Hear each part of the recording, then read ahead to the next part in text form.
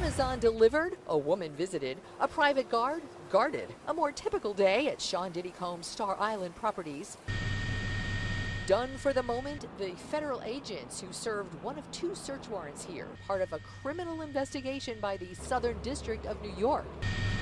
Agents took electronics, including a silver MacBook Air. The raid simultaneously at his homes on Star Island and in LA as Combs himself was preparing to fly out of Opa-locka Airport, but not on his private plane, which had already departed for Antigua. It was at Opa-locka that one of his entourage, Brendan Paul, was arrested for having cocaine in his bags.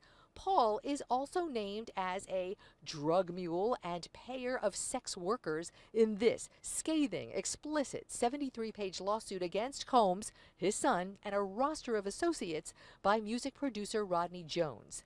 Last month, in it, Jones unspooled allegations with photos of sex abuse, sex trafficking, drugs, violence, threats, a quote enterprise, establishing one of the locations for it as Combs' Star Island address.